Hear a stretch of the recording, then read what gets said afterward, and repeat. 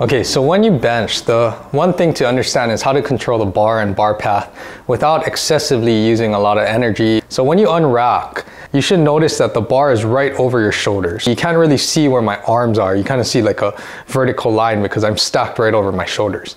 Then when I come down, I am going to lower the bar to kind of the bottom of my chest or my nipple line. And you can see my elbows are directly underneath my wrist. And then when I push back up, my forearms are going to be relatively vertical and I'm going to keep my wrist right over my shoulders. And you're trying to control this bar path where you're going from over your shoulders to down below your chest. And when you do this, the bar will be going slightly at a diagonal plane so that you can kind of keep this efficiency of the bar is always loaded over your elbows. Also, when you have that bar path, elbows kind of fall right where it should be. So you're gonna have nice and tight elbows about 45 degrees away from your body. And that's gonna kind of help you keep the bar in control on this nice path.